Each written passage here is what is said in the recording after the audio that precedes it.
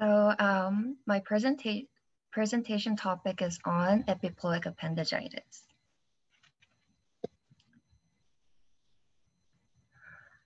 So epiploic appendagitis, as you can see from um, the name, epiploic appendages, which are these tiny peritoneal outpouchings um, you can find on the surface of the colon, and itis, um, suffix for inflammation. So it just means there's an ischemic infarction or inflammation of one or more epiploic appendages of the colon happening. So why or how does this happen? As you can see from this picture, um, these tiny uh, fat pouches contain obviously fat tissues, but also blood vessels. So when there's torsion, like uh, twisting of these fat pouches, or even um, like a spontaneous uh, thrombosis of like the venous flow um, occurs, that's when you get um, this ischemic um, infarction or inflammation of these appendages.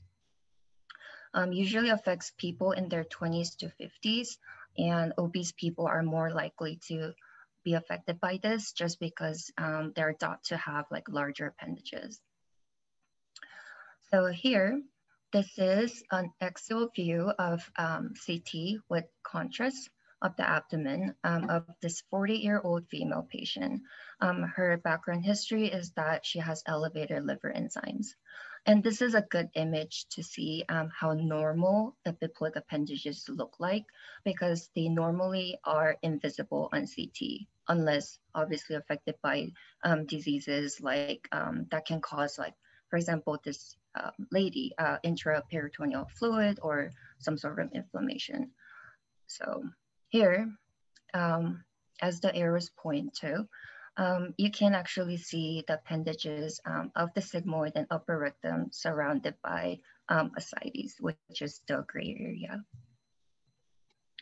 And this is another um, good image, axial CT um, of normal epiploic appendages um, of the sigmoid colon.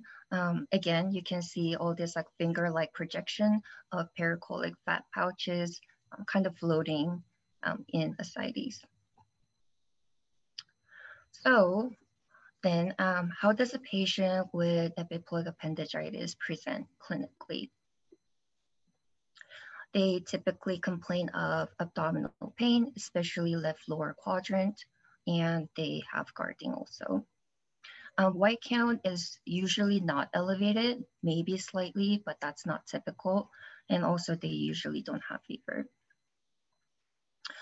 And the reason why they're more likely to present with left lower quadrant pain is because um, even though these um, appendages, these fat pouches are present like along the entire colon, their dis distribution actually varies um, such that like 60%, about 60% of them are um, present at the rectosigmoid junction. So um, given its clinical presentation, um, it's uh, essentially, clinically speaking, um, hard to distinguish from other acute um, abdominal pain, such as diverticulitis, and even like acute appendicitis if the patient has um, the right-sided symptom. And of course, um, there are other differentials such as uh, omental infarction and neoplasm, like the zebras. And um, so the reason why I picked this topic and I thought this was interesting is because um, even though this is a zebra topic, um, it actually accounts uh, for up to like 70 7% of suspected diverticulitis cases. So it's relatively rare, but um, still important to know.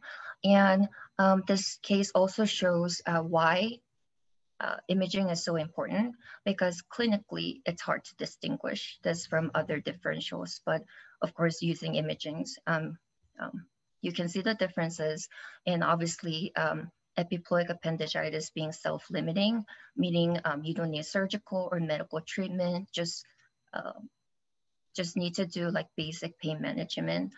um, and usually goes away within a week. So to prevent like unnecessary, unnecessary surgeries here, um, imaging is important. So um, we're gonna look at a few cases here to see um, like what are the characteristic findings we'll see using different imaging modalities. So first, uh, we'll start with CT. So this is a case of a 40-year-old male who presented with left lower quadrant abdominal pain. So first, uh, we'll start with the axial view of the abdomen. Um, this is with contrast. So for this case and all the other cases um, following this, um, I will just scroll through first and then go back to a slide where um, you can actually see the findings clearly.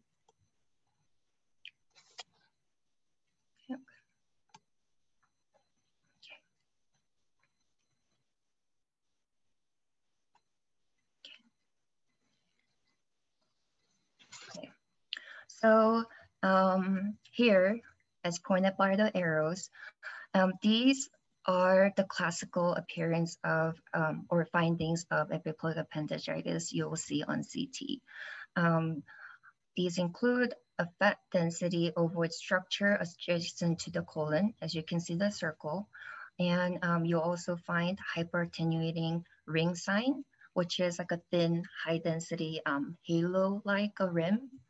Um, and all these things surrounded by extensive um, fat stranding. And fat stranding is just like these um, stringy, ill-defined, kind of like slightly increased density um, stuff that you see around the circle.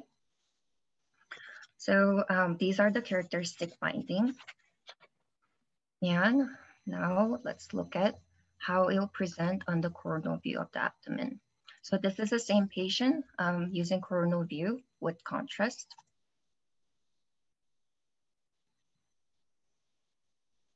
Okay. So here, um, again, the yellow arrows are pointing to what we just discussed earlier. So the fat density ovoid structure, the circle thing, and you also see the hyperattenuating ring sign, that's the halo stuff, and surrounded by um, extensive fat stranding. And one more um, notable thing here on this, uh, on this view that you can see that's also characteristic is a central hyperdense dot as uh, pointed by the blue arrow. That represents a, a thrombosed vascular structure. As earlier I said, um, these pouches also contain vessels, right? So that's what it's showing. So um, with all these findings, our impression would be epiploic appendicitis. Okay, so let's go back. Okay, so we're gonna see another CT case, but this time um, there are three views. So we're gonna also look at how sag sagittal view would show these findings. So this is of a case, uh, this is a case of a 35 year old male who presented with left uh, abdominal pain. Um, he also showed rebound and guarding. Okay, so this is um, an axial view with contrast.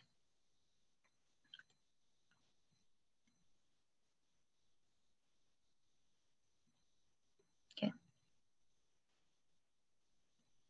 Okay.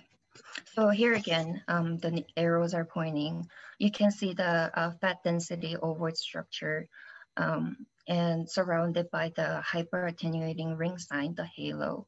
And also you see like the extensive stringy uh, fat stranding. Okay, now let's look at coronal view.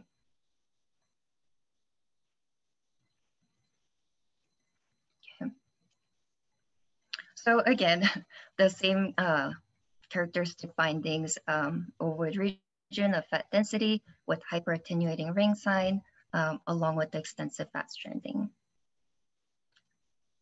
And lastly, we'll see how um, you can see this on sagittal view.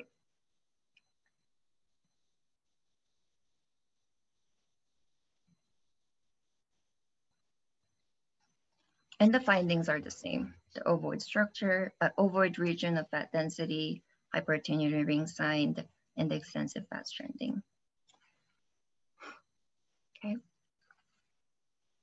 And um, now that we've seen like uh, what to look for in CT scan, um, let's look at ultrasound. Um, just to note though, um, CT scan is still the choice of modality for acute abdomen and therefore um, epiploic appendicitis is most frequently found using CT.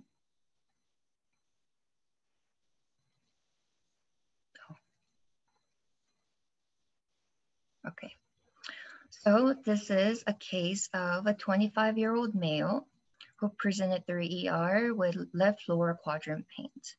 So initially um, what happened was that along with like all this lab workup and whatnot, um, abdomen and pelvis ultrasound was requested for this patient. So here, the two images um, are showing the findings of epiploic appendicitis. So here you can see, um, as pointed by these arrows, um, kind of hard to see, but uh, there's like a round, like a rounded, like a non-compressible hyperechoic, uh, like a mass-like abnormality, um, best seen on the right side, I guess. Um, that's measuring about uh, three by two centimeters. There's no internal vascularity and it's surrounded by subtle hypoechoic um, lines, as you can see here. Um, there's no associated uh, free fluid in this pelvis or abdomen. So um, what would be our next step for this patient? Recommend CT scan.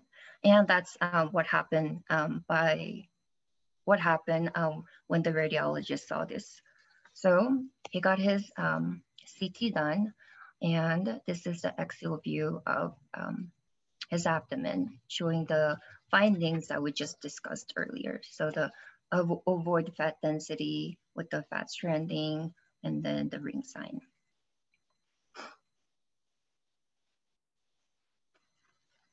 Okay, so um, lastly, we're gonna look at MRI. So this is a case of a 40-year-old male who presented with right upper quadrant abdominal pain. Okay, so um, first we're gonna look at uh, T1 weighted MRI followed by T2 weighted MRI. So this one specifically is axial view of the abdomen using T1 fat saturated um, T1 uh, MRI which just means that, um, so when it's fat saturated, it basically means um, the signal from normal fat tissue got suppressed, so it's gonna appear dark. So the easiest way to identify T1 weighted fat saturated image is um, looking at the subcutaneous fat. So like here, it appears dark. Um, but as for the um, other parts of the body, uh, it would appear the same as what you would normally see in regular T1 weighted um, MRI. Meaning like um, here, like muscle is gray, like the bones are dark. Um, well, for this one, fat is dark, which would normally be bright on the T1 um, weighted, and like air is dark. Okay, so I'll go through the images. Um, unlike the other, the three cases that we just talked about, this patient actually presented with the right upper quadrant abdomen pain. So um, please focus on the right side here.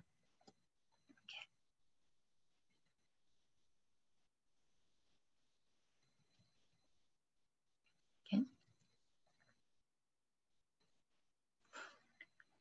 Okay, so here, um, you can you can see like a rounded mass like of abnormality abnormality with um, high signal intensity.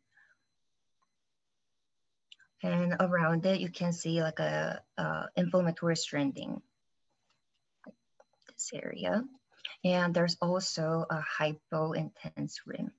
And that's what you would see um, when you use um, T1 fat saturated MRI.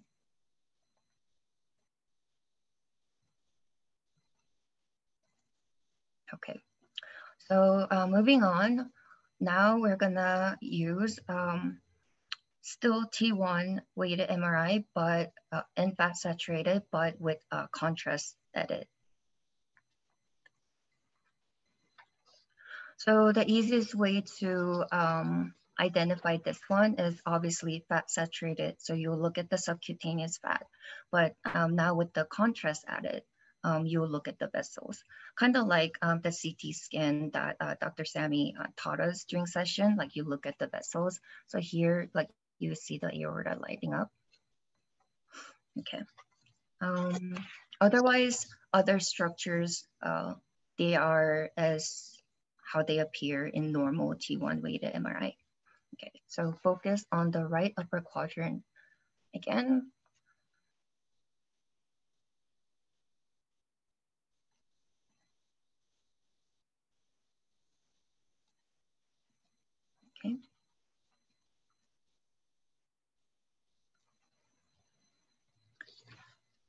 Okay. So in this one, as pointed by the arrow, um, our findings include, well, there's a rounded mass and the vivid rim enhancement um, due to the contrast. And that's basically what you find um, using MRI T1 weighted uh, with contrast fat saturated.